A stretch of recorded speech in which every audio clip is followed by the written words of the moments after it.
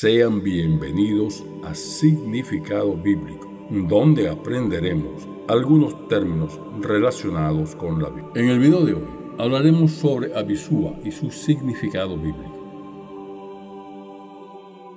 Antes de comenzar con el significado, te invitamos a descargar nuestra aplicación Fieles a Dios, cuyo enlace tienes en la descripción y en el comentario destacado de este video. En ella encontrarás el salmo o el proverbio del día, hermosas oraciones y reflexiones milagrosas, miles de imágenes que podrás compartir con tus familiares y seres queridos. Recibe notificaciones de nuestro contenido espiritual.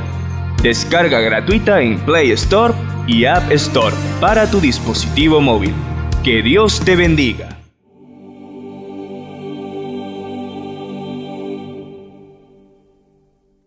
El significado bíblico de Abisúa es Padre es ayuda. La primera persona a quien se le llama por este nombre fue un benjamita que pertenecía a la familia de Vela. Algunos pueden pensar que la Biblia se contradice con dicho personaje. Esto se debe a que en 1 Crónicas 8, 1 al 4 se menciona que Abisúa era primogénito de Vela. Sin embargo, en 1 Crónicas 7:7 se cita a otras cinco personas como hijos de Vela. Incluso se les dice que eran los jefes de las casas paternas. En esta lista se excluye a las personas que aparecen en el capítulo 8. ¿Se contradice la Biblia en cuanto a Abisúa? No es que el libro se contradiga, más bien esto se debe a que en aquellos tiempos se hacía referencia a las generaciones siguientes como hijos. Por eso en el versículo 4 del capítulo 8 se habla de los descendientes de Abisúa. Otra persona que se encuentra en el registro bíblico es el hijo de Finejas, de Fineas.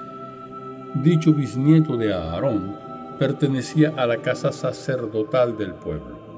Según los historiadores, fue descendiente del cronista Josefo, tal como el resto de su familia, desempeñó su papel del cuarto sumo sacerdote de Israel. Las personas que vivieron según las leyes de la ley mosaica sabían que el sumo sacerdote era la figura más importante de los sacerdotes. Este hombre representaba a todo el pueblo ante Dios y se encargaba de inspeccionar a los demás curas, era la única persona que tenía permiso de entrar en el Santísimo.